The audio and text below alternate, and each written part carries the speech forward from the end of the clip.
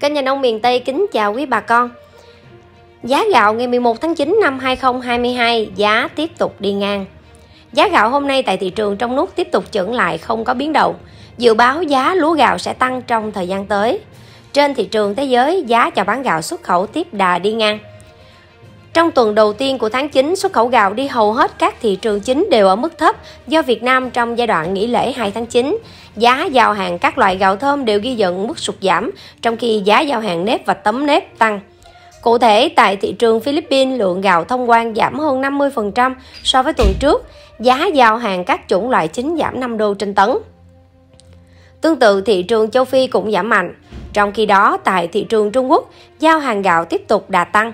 Giao dịch gạo OM18 hè thu với khách hàng Trung Quốc sôi động hơn sau khi có thông tin Ấn Độ cấm xuất khẩu gạo tấm và áp thuế với gạo trắng. Ông Nguyễn Văn Thành, giám đốc công ty trách nhiệm hữu hạn sản xuất thương mại Phước Thành 4 đánh giá, việc Ấn Độ áp mức thuế 20% với gạo xuất khẩu các loại là tin vui với gạo Việt Nam. Bởi lâu nay gạo Việt Nam luôn bị cạnh tranh với gạo Ấn Độ và Thái Lan về giá. Thực tế, trong giai đoạn 2017-2018, Ấn Độ xuất khẩu khoảng 8 đến 9 triệu tấn gạo trên năm và giá gạo Việt Nam xuất khẩu của Việt Nam trong giai đoạn này là rất tốt. Tuy nhiên, đến năm 2022, lượng gạo xuất khẩu của Ấn Độ đã tăng lên gấp đôi và đạt mức hơn 21 triệu tấn vào năm 2021. Điều này khiến giá gạo xuất khẩu trên thị trường bị giảm xuống. Dự báo giá lúa gạo vụ đông xuân 2023 sẽ tăng lên. Võng hôm nay cụ thể như sau. Gạo IR 50404 nguyên liệu 7.950 đồng đến 8.000. Thành phẩm là 8.500 đến 8.550 đồng. Gạo OM 5451 nguyên liệu là 8.001 đến 8.002.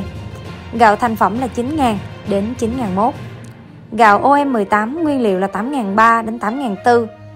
Gạo thành phẩm 9.001 đến 9.003. Gạo đài thơm 8 nguyên liệu là 8.300 đến 8.500 đồng. Gạo thành phẩm là 9.001 đến 9.002. Giá phụ phẩm cụ thể như sau. Tấm IR504 ở mức 8.003 Cám khô là 7.600 đến 7.700. Tại chợ lẻ, giá gạo cụ thể như sau. Gạo thơm Jasmine 14.000 đến 15.000 đồng.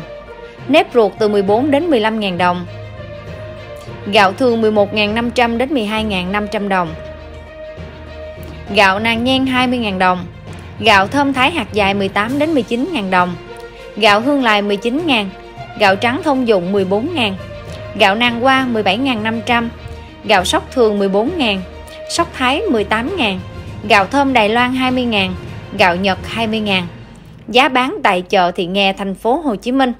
Gạo ST25 ruộng tôm 27.000 đồng, gạo lứt huyết rồng 26.000, gạo Campuchia 22.000, gạo hương lài 17.500, gạo nàng qua gò công 19.000, gạo nàng thơm chợ đào 20.000 đồng, gạo thơm Nhật 15.000 đồng, gạo tài nguyên chợ đào 20.000 đồng, gạo lài miên 23.000 đồng, nếp ngỗng 20.000, nếp bắc 28.000.